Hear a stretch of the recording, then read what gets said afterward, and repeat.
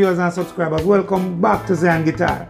Now, if this is your very first time tuning into this channel, I'm gonna ask you to go on right down to that red button down there. Hit that. Hit the notification bell. Hit also whenever I post a new video tutorial, whatever I put here on YouTube, you will be alerted. This next tutorial is from Bitty McLean. This one is entitled Walk Away From Love. It was originally done by David Ruffin, lead singer of, you know, the mighty group Temptations, we all know, Motown. My girl. yeah, man. So guess what? Grab your guitars. Let me show you how to play this one. Let's go.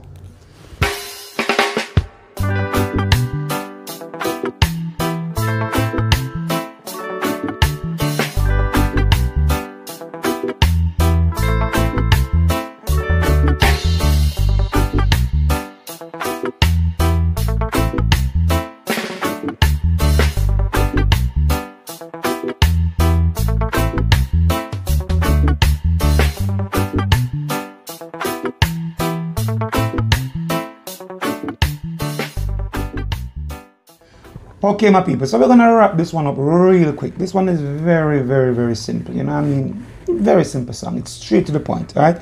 And it's basic chords, three chords, all right? If you wanna add some slides and you wanna add a little bit of pull off and hammer-ons and whatever it is, you can add that. All right, but um, this song is in the key of B, B major. So you're gonna be using a B, which is a one. You're gonna be using C sharp minor, which is a 2, you're going to be using an E flat minor, which is a 3. And those are basically three chords you use in the song. Alright, now you can place it all over the guitar. B's here. So that's one, two, which is the C sharp minor. The three, of course, which I'll show you guys, um, the E flat minor back to the C sharp minor.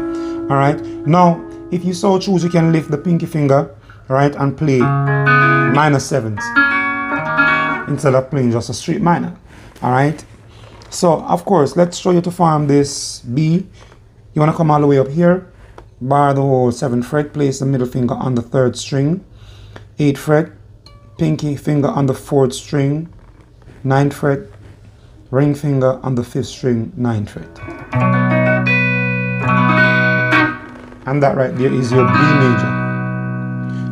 Now if you want to use this tool up here, just push this position all the way up and lift the middle finger like that.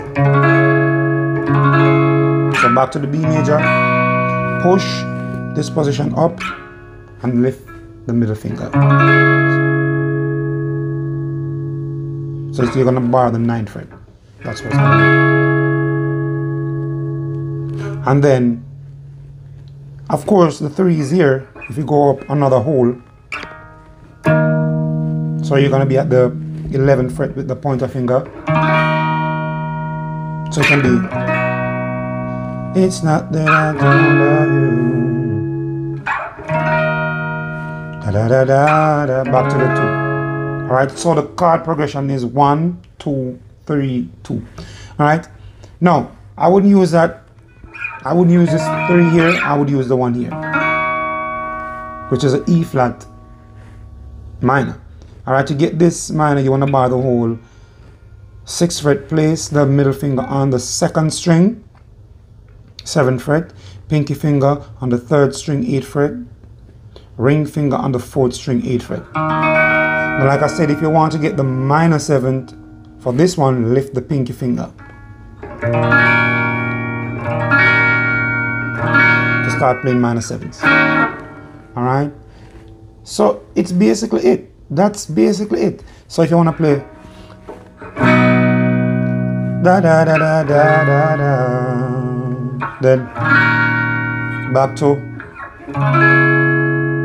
okay that's basically for the song. So you're strumming.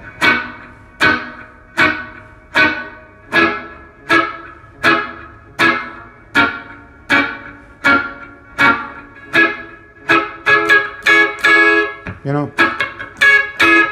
And of course, when you hear me playing those, pay attention to this hand and this hand at the same time. When I go down, I mute.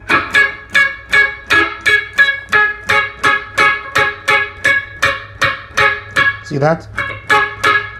So we're gonna, as I said, we're gonna wrap this up real quick. It's not hard. Now, of course, you can use that um, pinky finger to hammer on, right, on the first string, all right, of the 11th fret. You know, but like I said, I cannot make you guys skillful on guitar. I can show you guys, you know, what to play, right? You guys just have to get yourself into it. So, so you can do things like this. you know? Then to the three. So in this case your pinky finger is your best friend. Now mark these are not in the song. All right? I'm just adding it. I'm just flavoring it up for you guys. All right? So that's basically for that right there.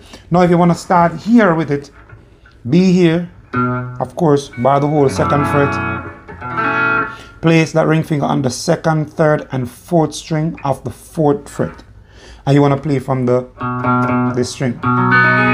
So you're gonna maybe da, da, da. Now this is a C sharp minor right here. Alright. Then E.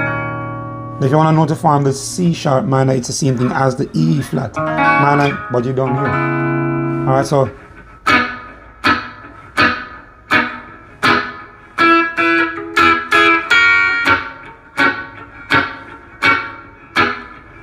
You know how you can.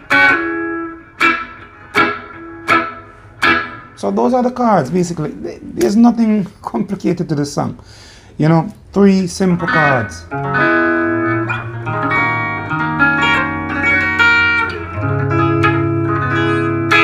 Just use those cards, mess around with them a little bit. Just remember to keep the feel, keep the reggae feel, strum reggae.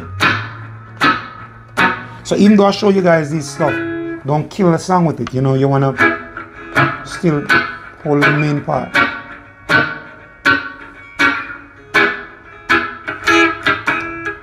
You can slide.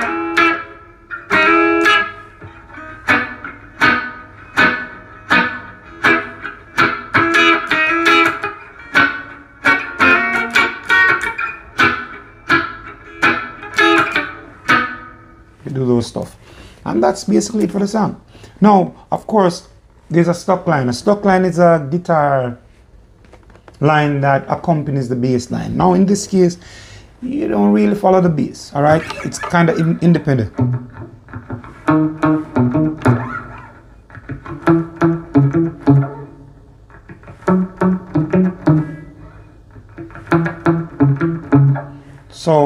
I'm gonna play it slow so you guys can follow. So I'm back here at the B, but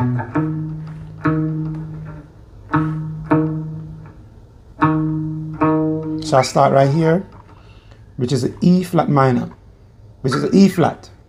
All right, not E flat minor, E flat. Right there. So you go.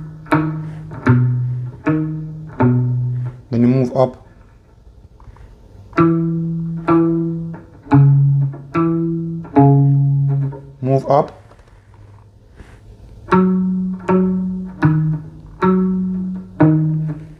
Then you move back down. Alright, yeah man, that is how you play Bitty McLean Walk Away from Love reggae style.